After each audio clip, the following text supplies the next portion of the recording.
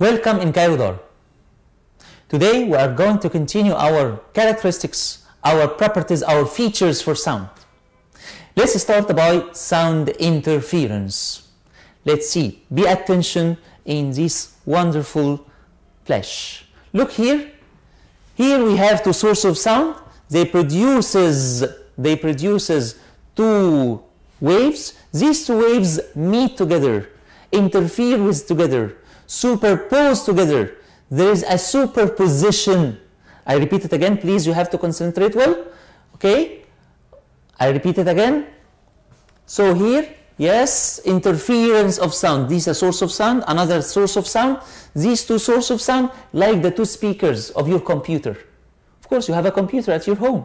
So the two speakers of sound, the two speakers of sound makes, make, produces two waves types of waves here, the same waves. Okay, so they interfere together. So, what is meant by sound interference? Sound interference is a phenomenon. Sound interference is a phenomenon produces from the superposition, superposition of two sound waves, produces reinforcement, reinforcement, strengthen of sound in positions, in certain positions, and weakness, weakness of sound. No sound is heard in another position. So we have two types of interference. There is constructive interference and destructive interference. There is constructive interference and destructive interference. So sound interference has another definition which is a combination which is a combination of two waves or more, they have the same frequency, same amplitude, same propagation direction. Same frequency, same amplitude, same propagation direction. It is sound interference. Interference may be constructive, may be destructive. May be constructive, strengthen the sound. May be destructive, weakening the sound or eliminating it together. They cancel each other. When here when here a compression meets a compression, compression from the first source meets a compression from the second source, it is a constructive interference. Also, also, when a rarefaction from the first source meets a rarefaction from the second source, so it is also constructive interference. But when a compression from the first source meets a rarefaction from the second source, so it is destructive interference. They cancelled each other. They cancelled each other. So no sound is heard. No sound is heard in this case. So, interference of sound, as you see here, as you see here, here we have two waves. First wave, it is represented by the red light, as you see. And the second wave, it is represented by the blue light. These two waves superposition, superposed together. So the resultant wave, as you see, so it is constructive interference. Here, the maximum amplitude. Here, the path difference is m lambda, where m is integer, 0, 1, 2, 3, and so on. The phase difference here is 0. So, please don't, don't forget this.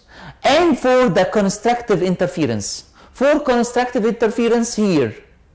Here we have two waves. The first wave here with the blue light and the second wave with the green light. When they are superposed together, they cancel each other. They, they, so the resultant wave, as you see, no sound is heard. No sound is detected. So weakness of sound, destructive of sound. And the path difference will be m plus half lambda m plus half lambda. So, if we have here constructive interference and destructive interference, in the constructive interference, as you see, the resultant wave, as you see, maximum amplitude. But here, but here, in the destructive interference, yes, the crest here, here, they, they cancelled each other. They cancelled each other. So the destructive interference, the resultant wave here, as you see. And don't forget, don't forget, in the constructive interference, the path difference is m lambda. But in destructive interference, the path difference is m plus half between brackets times lambda. That's for the difference between constructive and destructive. Constructive interference, compression with compression, rarefaction with rarefaction. But in destructive interference, compression with rarefaction. Compression from the first source meets rarefaction from the second source. What's about diffraction of sound? Diffraction of sound or sound diffraction is really, is very, very, very obviously in our life. It is obvious, obvious in our life. How? Now I speak. And if uh, this studio has a door, this door is opened. If this door is opened, what will happen? Of course, I speak now, so my sound comes out. This sound is a wave. This wave has a wavelength.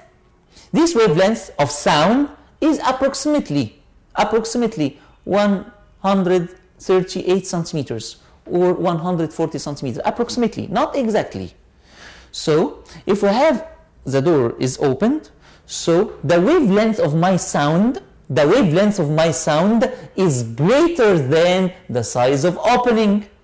When the wavelength which is 140 centimeters of course it is greater than the size of opening the size of the door the size of anything the size of opening or slit or anything so sound will be diffracted the sound will be diffracted when it moves in this way so it is diffracted. So if you if you talk with your friend in open class and the door of the class is opened so another one outside may may hear you.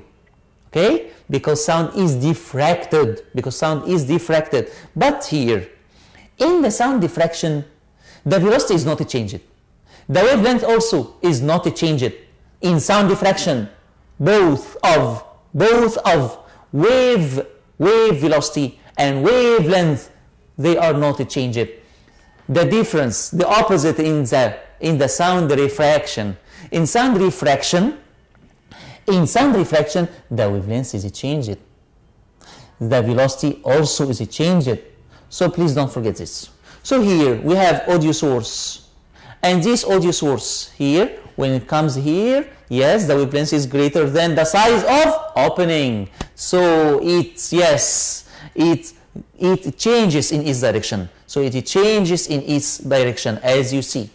After that after that we have here this point. We have here sound diffraction. As you see yes we see it diffracted, we see it change in the direction. So sound diffraction is a change or bending of the wave. A change or bending of the wave. When passing through a slit or an aperture, slit or an aperture, okay? But I concentrate in these points. The wavelength must be greater than the size of opening. Okay, that's for the sound diffraction.